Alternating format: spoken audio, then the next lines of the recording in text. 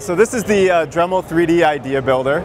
It's Dremel's first uh, entry into the 3D printing market. We used a fused filament fabrication method, which takes a plastic filament. Uh, we use PLA.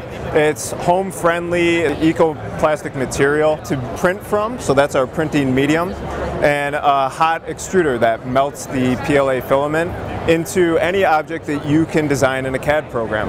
Uh, Dremel brings a very unique ecosystem to this, so we've partnered with Autodesk on the front end to allow our users to create uh, using the Autodesk CAD tools, which then imports into our easy-to-use uh, software that interfaces with the machine to convert the CAD file into a printable file and a physical object.